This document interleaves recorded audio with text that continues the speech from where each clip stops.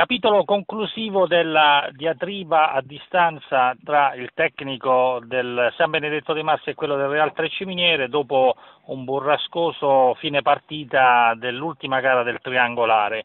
Abbiamo sentito a più riprese i due protagonisti, dopo l'intervista di ieri al mister di Genova, oggi siamo a sentire il mister Di Marzio per eh, l'ultima, speriamo, replica e si spera che tra i due allenatori ci possa essere anche un chiarimento diretto tra non molto. Mister Di Marzio.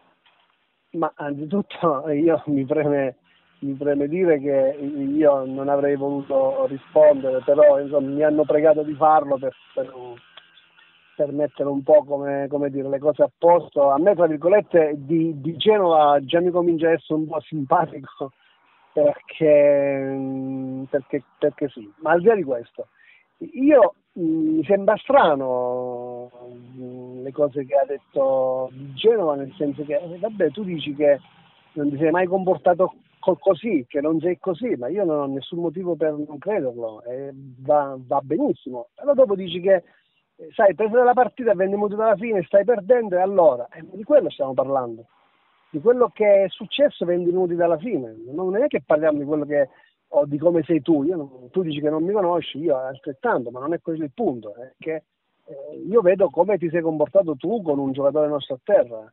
Dopo eh, tu eh, giustamente mm, mi dici che io ho detto al vostro dirigente di il fischietto, ma è quello che ho detto io io ho detto questo perché tu eh, vuoi che io faccia un cambio, cioè tu vuoi fare le, le mie veci, allora fallo tu l'allenatore. Semplice, ma senza, cioè non vedo eh, la polemica. Se dopo io, come dire, ho apostrofato di Genova in quel modo è perché ci sono stati dei comportamenti che hanno portato a questo.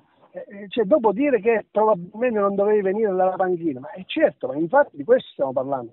Che io il fratello Luca lo conosco, lui stava eh, tra le due panchine lui bastava che si, eh, che si affacciasse dalla panchina sua, che si sporgesse dalla, dalla sua postazione per salutarlo, cioè, non è che doveva venire vicino sotto la panchina nostra per non vedere il pubblico e, e fare, insomma, voglio dire, abbastanza, abbastanza semplice. Ehm, dopo, eh, sì, dopo col senno di poi si può dire tutto, però eh, domenica c'è stato un solo espulso e è stato espulso lui.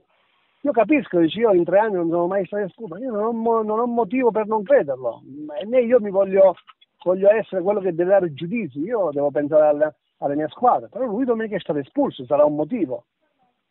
Eh, se no, altrimenti vogliamo eh, con le spiegazioni, con le parole, vogliamo cambiare i fatti, ma i fatti restano fatti, le opinioni, ovviamente ognuno ha la propria opinione, però i fatti sono stati quelli. Io eh, eh, quando mi riferisco ai tifosi, io ho fatto i complimenti ai tifosi, ho fatto i complimenti ai tifosi, ho fatto i complimenti alla squadra del San Benedetto di Mars, perché San Benedetto di Mars, tengo a precisare, non ha rubato nulla, così la prestazione dell'arbitro e della terna arbitrale è stata esemplare, noi siamo contenti di questo, perché quando tu non hai nulla da, da recriminare e, e perdi, è già un vantaggio, perché noi l'anno scorso abbiamo perso la Coppa con tanti episodi a, fa- a sfavore e ci hanno reso la vita difficile, perché tu vedi che hai subito qualcosa che invece domenica il rigore ci stava, noi avevamo un, un problema con il, con il portiere e è finita là. Però cioè, adesso eh, volessi eh, voler fare come dire um, il moralizzatore mascherato da parte di Genova mi sembra un, mi sembra un, po', un, po', un po', così. Io quello che, che, ho detto l'ho detto perché mi riferivo a, a certi comportamenti, ma da parte sua non è che sono stati mh, come dire, non, non, è stato riconosciuto certi comportamenti. Quindi a quello mi riferivo. Eh, allo stesso tempo io sono vicino al San Menetti dei Marsi, mi auguro che insieme a, a Raiano possano dar vita a una degna finale. Faccio i migliori in bocca al lupo a tutte e due e che possano festeggiare così anche per eh, l'amico Antinucci, così a questo punto anche per di Genova che io mi diventa simpatico sempre di più eh, voglio dire, quindi eh, che pensasse lui a questo punto a, ad allenare la sua squadra, a cercare di prendere un titolo che è importante. Noi intanto il nostro titolo l'abbiamo preso, festeggeremo pure noi e, e dopo quando lui dice che alcuni, che un, un, mio giocatore, un dirigente sono andato a fare i complimenti, bene, va, va, va benissimo, questo a valore il fatto che noi siamo venuti in pace a San Benedetto abbiamo trovato un ambiente di pace. Eh, lui sicuramente non è stato tra quelli che ha... Cioè, dopo tu dici, ma io non sono così, ho capito, però a venuto alla fine in quelle particolari eh, situazioni ti sei comportato così.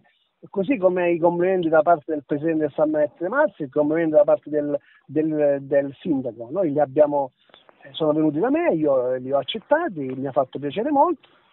Probabilmente io col senno di poi adesso dovrei fare però niente, io quello che ho detto in quel momento è quello che pensavo e ovviamente, eh, certo, io capisco che lui, però eh, lui deve capire che eh, a fronte di comportamenti che uno tiene, la, dall'altra parte vede quei comportamenti. Io sono, sono sicuro che Di Genova sarà un ragazzo esemplare, padre generoso e lavoratore instancabile, ma la realtà è che domenica con un nostro giocatore a terra lui ha, fatto, ha messo in atto una serie di comportamenti che a mio avviso non sono andati, non sono andati bene. Colgo comunque l'occasione per salutare tutti quanti, per eh, come dire, fare complimenti anche al Piazzano e all'Orsogno che, eh, che fino al 12 di giugno sono stati insieme a noi con questo caldafoso. Mi auguro che ci si possa ritrovare eh, in, in, qualche categoria migliore e basta, finito così. Non penso che. Dopo, sai, uno sul, sulle opinioni si può sempre discutere eh, anzi chi non, è stupido chi non cambia mai le proprie opinioni perché ci sa, c'è sempre un motivo, un modo per... Poi un'altra cosa, io, io, non è che, io penso di non essere più anziano di Di Genova, probabilmente sarò più grande, ma insomma, più, più anziano passami il termine, non, non, non, mi ci sento. Comunque, meno giovane, dai. meno giovane, un po' più grande, vecchio, anziano è mia nonna, il signor eh, Tamburini, là, un vecchietto vicino a casa nostra, ma insomma.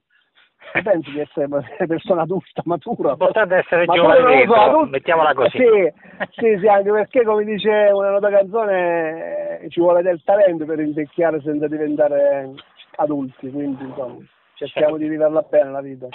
Un abbraccio a tutti. Ciao mister, ciao.